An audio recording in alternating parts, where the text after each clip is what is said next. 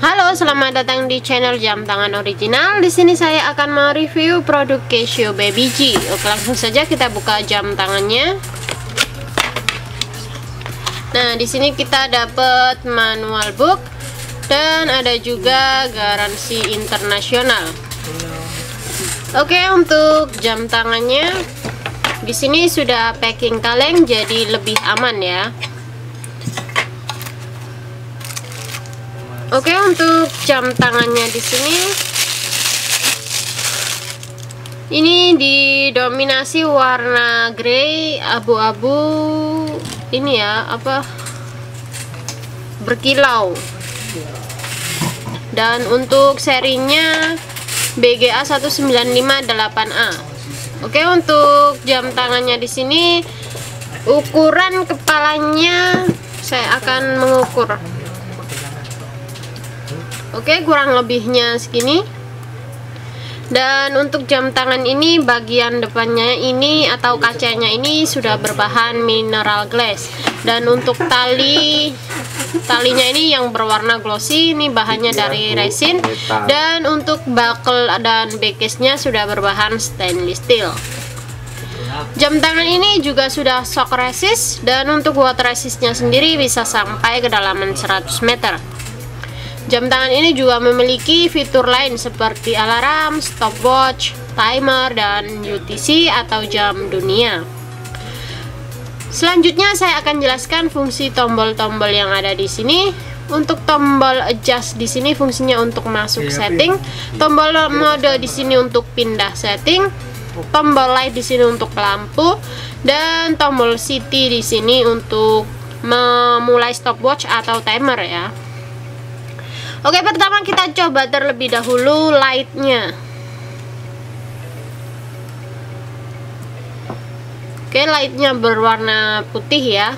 Dan untuk setting jam tangannya pertama tekan tombol adjust di sini sampai bunyi bip Oke setelah itu kita cari dulu zona waktunya yaitu BKK tekan tombol kanan atas atau bawah juga bisa Oke setelah itu pencet tombol mode. Nah ini untuk formatnya. Untuk pindah formatnya tekan tombol kanan bawah. Setelah itu mode lagi. Masuk ke setting jamnya. Tombol kanan atas di sini untuk mengurangi angka. Tombol kanan bawah untuk menambahkan angka. Oke. Setelah itu mode lagi masuk ke setting menit. Mode lagi masuk ke setting tahun bulan dan yang terakhir tanggalnya. Oke setelah semua settingnya sudah selesai tinggal ditekan saja tombol adjustnya satu kali untuk menyelesaikan setting.